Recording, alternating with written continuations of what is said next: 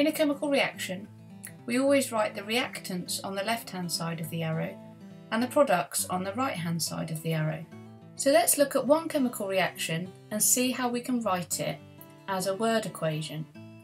In this reaction, when magnesium reacts with oxygen, magnesium oxide is produced.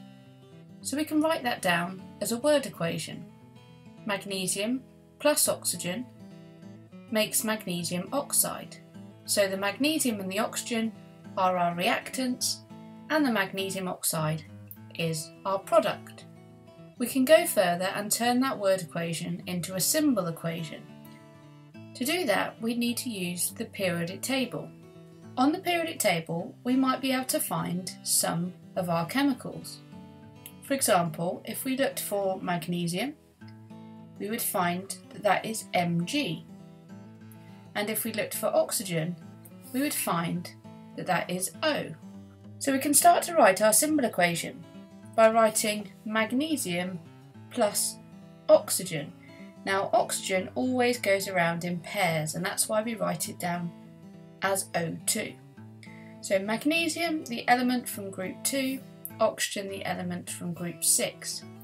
However, you could spend all day long looking for magnesium oxide on the periodic table and you wouldn't find it because magnesium oxide is a compound. Magnesium and oxygen have reacted together to make a compound. So this magnesium oxide is made up of magnesium and oxygen. So in order to write this compound as a symbol, we'd have to remember some rules on writing chemical formulae. So here are some common endings for chemical formulae. If your compound ended in the word sulfate, then the ending would be SO4. If it ended in carbonate, the ending would be CO3.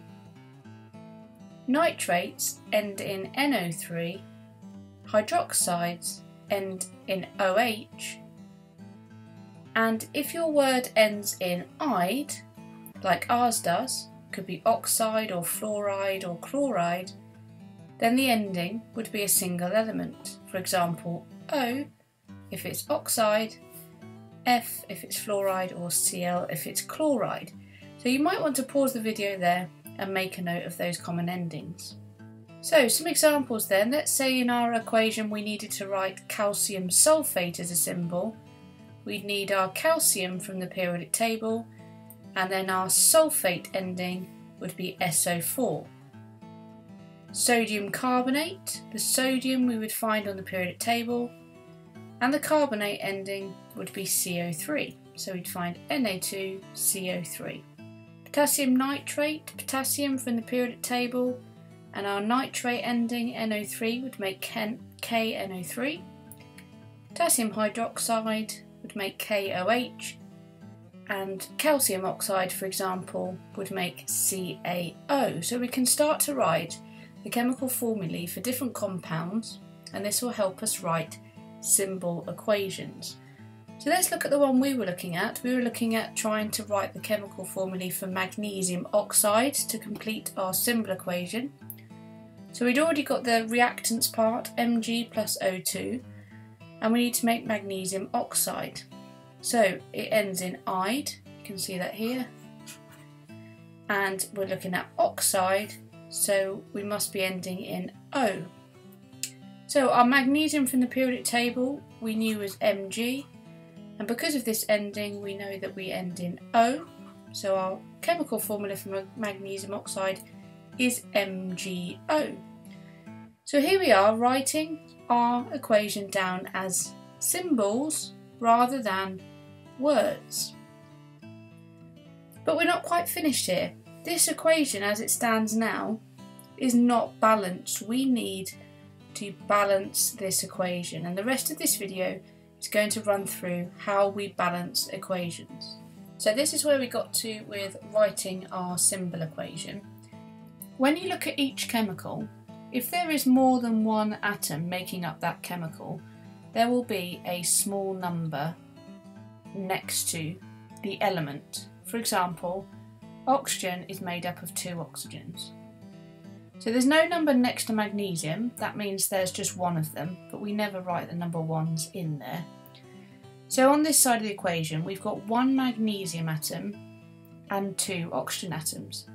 However, on this side of the equation, we have, if we look at magnesium, just one magnesium atom and one oxygen atom, so it's not balanced.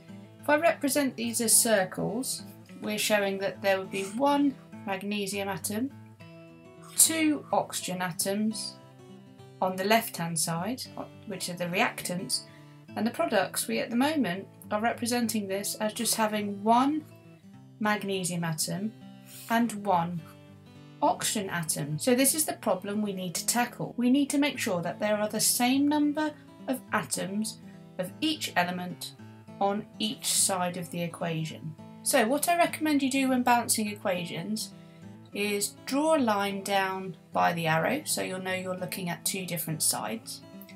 Write down all the elements you have and do this on the same order on the left and the right.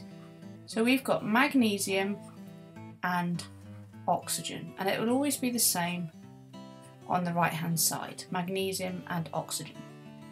Then write how many atom we have. So here we only have one magnesium, but we have two oxygens. On the product side, we have one magnesium and one oxygen. So clearly the problem is with balancing these oxygens.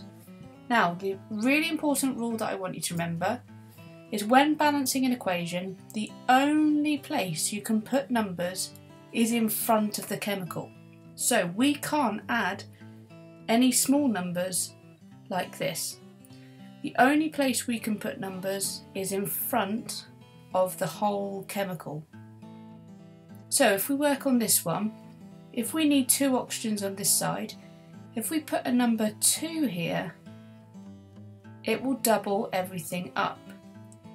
So now we've got two lots of magnesium, so we'll change that to a 2. And now we've got two lots of oxygen, so we will change that to a 2. So what we've done is we've balanced the oxygens now, which is great. But the problem is the magnesiums are now not balanced. So now we need to try and get two magnesiums on this side. The only thing we can do is put a number in front of the chemical. So if we put a 2 here, we would now have two lots of magnesium, like so. And now our equation is balanced. So to write that out again for you, it would be 2Mg plus O2 makes 2MgO. And if we were to represent this in circles again, what we're saying is by putting that 2 here, we're now doubling up the magnesium that we've got. So we had one before, now we've got another one. O2 stays the same, O2, two lots of oxygen atoms. But now we've doubled up the magnesium oxide. So whereas before we just had one, we've now got two lots of magnesium oxide. So why do we do this? Well, the mass of the reactants always has to equal the mass of the products. So for example, if we had 50 grams of reactants, we must be turning that into 50 grams of products because the mass needs to be the same. So by balancing the equation, we are showing that no atoms are made or lost in a chemical reaction. Whatever you put in, for example 50 grams, must be the same as whatever you get out of the reaction. That's why we must make sure that we're balancing our equations. So I'm going to go through another worked example and then there's a few for you to try at the end of the video. So methane plus oxygen makes carbon dioxide plus water is our word equation. As a symbol, it is CH4, which is our methane, plus oxygen makes carbon dioxide and water as symbols. However, at the moment this is not balanced. We've got one CH4, which might look something like this, represented as circles, reacting with oxygen to make CO2 plus H2O. But you can see already there's two H's here and there's four over here. There's two oxygens here and there's three on the right hand side. So we must have to balance this equation. So remember, when you balance an equation, the only place you can put numbers is in front of the chemical. Remember to divide the symbol equation with a line so you know to work on the left and then the right. We're going to write each element that we've got, which is all of the capital letters, so C, H and O, and in the same order on the right hand side, C, H, O. So now we look for the little numbers. Next to this C, there's nothing, so that just means there's one of them. We've got four H's and two O's. And on the right hand side, we've got one C, one carbon. We've got two hydrogens. And for the oxygen, we need to look carefully because there's oxygen here and there's oxygen here. So we need to add all of them up. We've got two here and one here, so that makes three altogether. So now let's look at what we should balance. If you've got even numbers to balance, that's always a little easier than trying to balance an even and an odd number. So I'm going to start here and try and balance the hydrogens. So we've only got two on the product side, but we've got four on the reactant side. So I'm going to look where my hydrogen is, and only in front of the chemical, I'm going to put a number 2 to double everything up. So now I've got 2 times 2 hydrogen, which is now 4, so I'll correct that. And now I've got 2 lots of oxygen, but I need to remember to add it to the 2 that's here. So I've got 2 times 1 oxygen, so 2 in water now, and I've got 2 here, so now I've got 4 altogether. So now I'm happy that my carbon is balanced, there's one of each of those. I'm happy that my hydrogen's balanced. And now I need to concentrate on balancing the oxygen. So I've got four on this side and two on this side. So what I'll do is I'll put a number two in front of the oxygen here, and that will double it up and give me two times two, which is four oxygen. So now I'm happy that everything is balanced.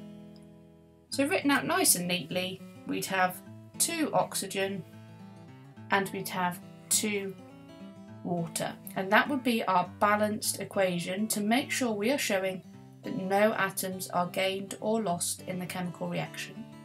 And if we are to show this as our little atom circles, we have one lot of CH4, we now have two lots of oxygen one lot of CO2 and two lots of water. And now we've got the same number of atoms of each element on each side, so we have balanced the equation, showing that no atoms are lost or gained in the chemical reaction. So here are some balancing equations for you to try. What I recommend you do is pause the video and then when you press play I will go through the answers with you. So for the first one, as I recommend, separate the reactants and products with a line. Write down the elements that you've got, so Ca and O, same on both sides, and count the number of atoms of each element you have. So we've just got one calcium, so we'd write one, two oxygen. On this side we've got one calcium and just one oxygen. So the calciums are balanced at the moment, so what we need to focus on is the oxygens.